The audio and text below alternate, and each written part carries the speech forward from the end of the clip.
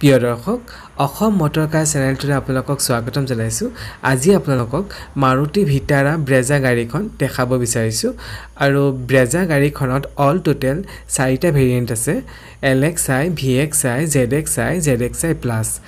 আজি আপোনালোকক top model Z X I plus variant গাড়ীখনৰ কমপ্লিট ডিটেইলছ দেখাব বিচাৰিছোঁ। আহকচোন আৰম্ভ কৰোঁ। ফ্ৰণ্ট ছাইড ভিউটো চাওক ইয়াত আপোনাৰ ষ্টাইলিছ ক্ৰম ইউজ কৰিছে চাওক ষ্টাইলিছ ক্ৰম ইউজ কৰিছে লগতে আপোনাৰ চুজুকি লগত দিছে। আপোনাৰ আৰু মাজত চাওক ইয়াত আপোনাৰ ৰেডিয়েটৰ ব্লেক কালাৰত গিল দিয়া হৈছে চাওক। ইয়াত আপোনাৰ ৰেডিয়েটৰ ব্লেক কালাৰ গিল দিয়া হৈছে আৰু চিলভাৰ কালাৰ আপোনাৰ ছেফ গাৰ্ড দিছে হয়। আৰু লগতে আপোনাৰ বাম্পাৰ ইয়াত বডি কালাৰ দিয়া হৈছে চাওক তলত আপোনাৰ বাম্পাৰ দিয়া হৈছে।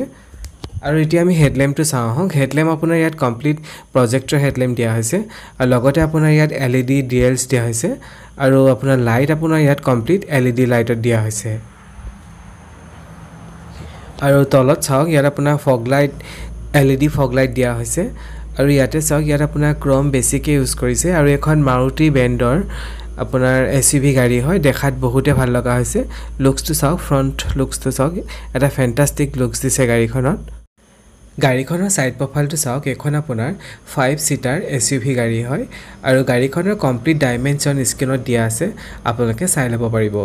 এতিয়া আমি টায়াৰটো চাওঁ আহক ইয়াত আপোনাৰ sixteen inch dual tone alloy wheels দিয়া হৈছে আৰু টায়াৰটো স্কোৱাৰ চাইজ দিছে আপোনাৰ two hundred fifteen by sixty দিয়া হৈছে। এতিয়া অ' আৰ বি এম চাওক ইয়াত আপোনাৰ body coloured O' R V M দিয়া হৈছে লগতে টাৰ্ণিং ইণ্ডিকেটৰ দিয়া হৈছে।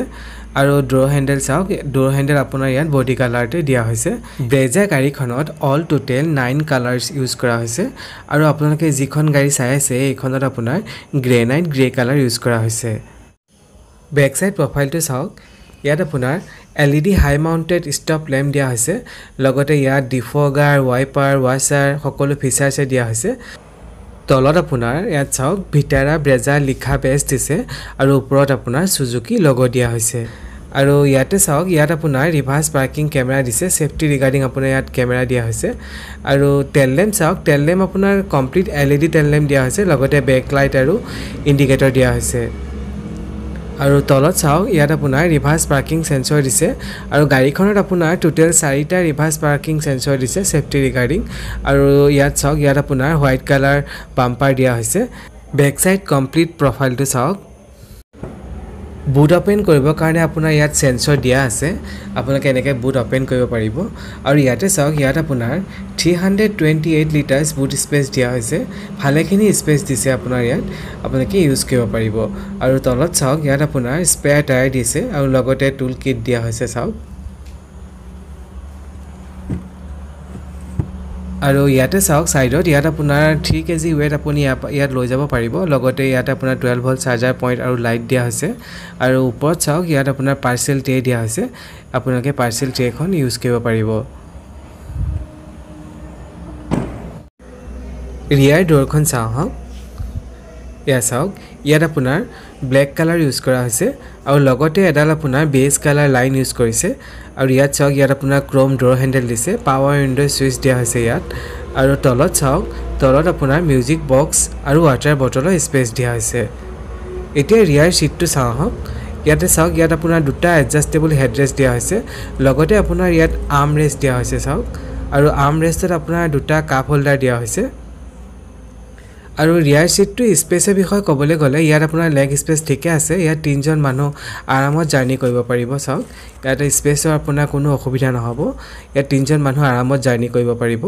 আৰু লগতে ওপৰত চাওক ওপৰত আপোনাৰ ইয়াত ড'ৰ হেণ্ডেল দিয়া হৈছে। আৰু ইয়াতে মাজত চাওক মাজত আপোনাৰ কেবিন লাইট দিছে। আপোনালোকে ইউজ কৰিব পাৰিব। ড্ৰাইভাৰ ছাইডৰ ড'ৰখন অ'পেন কৰোঁ আহক।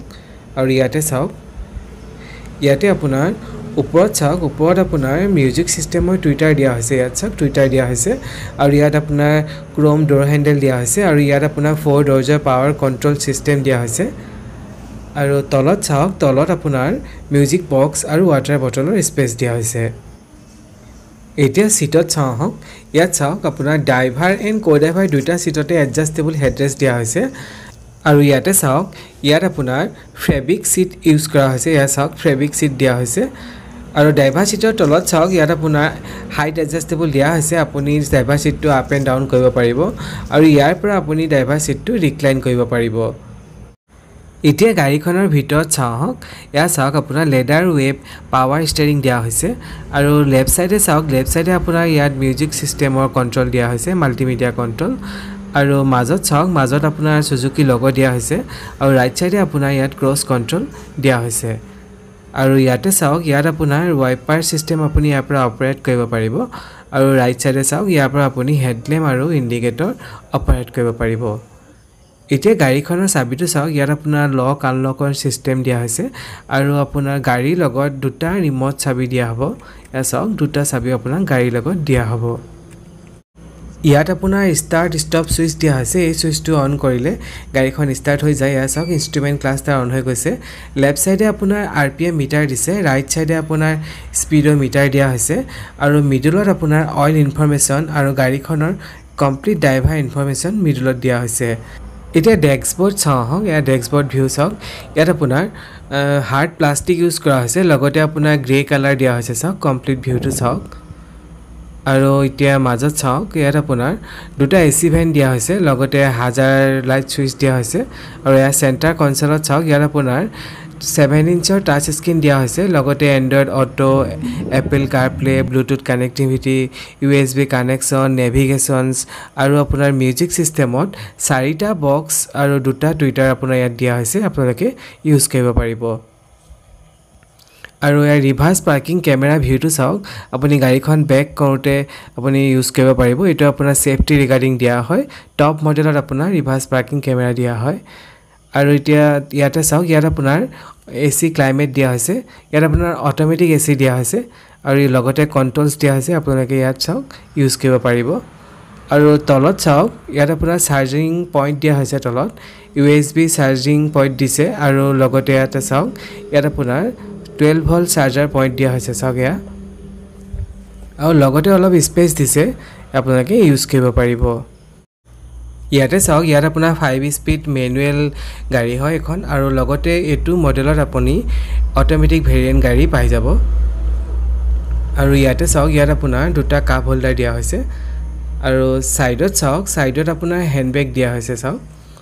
আৰু ইয়াতে চাওক ইয়াত আপোনাৰ আৰ্মৰেষ্ট দিয়া হৈছে। আৰ্মৰেষ্টৰ তলত অলপ আপোনাৰ স্পেচ দিয়া হৈছে চাওক। আৰু এইটো আপোনাৰ ফ্লেক্সিবল আৰ্মৰেষ্ট হয়। আপুনি আৰ্মৰেষ্টটো আগলৈ পিছলৈ কৰিব পাৰিব। আপোনাৰ সুবিধা অনুযায়ী আপুনি ইউজ কৰিব পাৰিব। আৰু ইয়াতে চাওক ইয়াত আপোনাৰ অলপ স্পেচ দিছে। ইয়াতে আপোনাৰ ওপৰত অলপ স্পেচ দিয়া হৈছে। আৰু তলত চাওক তলত আপোনাৰ ইয়াত গ্ল' বক্স দিয়া হৈছে। আৰু গ্ল' বক্সটো চাইজটো চাওক ইয়াত আপোনাৰ ডাঙৰ চাইজৰ দিয়া হৈছে চাওক। আপোনাৰ ডাঙৰ চাইজৰ ইয়াত গ্ল' বক্স দিয়া হৈছে। আৰু ক' ড্ৰাইভাৰ ছাইডৰ ওপৰত চাওক ইয়াতে আপোনাৰ ভেনিটি মিৰৰ দিয়া হৈছে। চাওক এয়া ইয়াতে আপোনাৰ মিৰৰ দিয়া হৈছে। আৰু এতিয়া ড্ৰাইভাৰ ছাইডত চাওঁ আহক। আৰু এই ড্ৰাইভাৰ ছাইডত চাওক ইয়াত আপোনাৰ মিৰৰ নাই দিয়া। আৰু ইয়াতে চাওক ইয়াত আপোনাৰ I R V M auto' dimming দিয়া হৈছে। অট' ডিমিঙত আপোনাৰ আই আৰ বি এম দিয়া হৈছে আপোনালোকে ইউজ কৰিব পাৰিব। আৰু ইয়াতে চাওক ইয়াত আপোনাৰ ছানগ্লাছৰ বক্স দিয়া হৈছে। আৰু লগতে আপোনাৰ ছাইডত চাওক ইয়াত আপোনাৰ কেবিন লাইট দিয়া হৈছে। এয়া চাওক ড্ৰাইভাৰ ছিটৰ ওপৰতে দিয়া হৈছে। আৰু গাড়ীখনৰ কমপ্লিট ডেস্কবৰ্ড ভিউটো চাওক এইখন আপোনাৰ top model Z X I plus variant হয়। আৰু এটা ফেণ্টাষ্টিক প্ৰিমিয়াম লুকছ দিছে গাড়ীখনত চাওক। এটা প্ৰিমিয়াম লুকছ দিছে। মাৰুতি ভিটাৰা ব্ৰেজা গাড়ীখন আপোনাৰ এ চি বি গাড়ী হয়। আৰু ব্ৰেজা গাড়ীখন ইণ্ডিয়াৰ top ten highest selling A C B গাড়ীৰ ভিতৰত পৰে। আৰু মাৰুতি ব্ৰেণ্ডৰ সকলো গাড়ীৰ ভিতৰতে ব্ৰেজা গাড়ীখন আপোনাৰ ফেমাছ আৰু highest selling A C B গাড়ী হয়।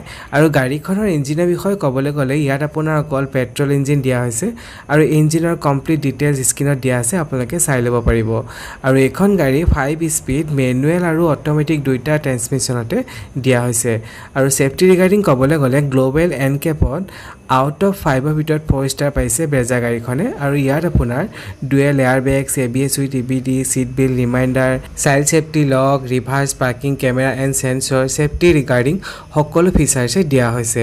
এইখন আপোনাৰ top model Z X I plus variant হয় আৰু গাড়ীখনৰ price around nine point nine seven lakhs হ'ব। আপোনালোকে চাব পাৰিব। প্ৰিয় দৰ্শক অসম মটৰ কাৰ চেনেলটো ছাবস্ক্ৰাইব কৰি দিব। আকৌ এটা নতুন ভিডিঅ' লগ পোৱাৰ আশাৰে আজিলৈ সামৰিলোঁ। ধন্যবাদ।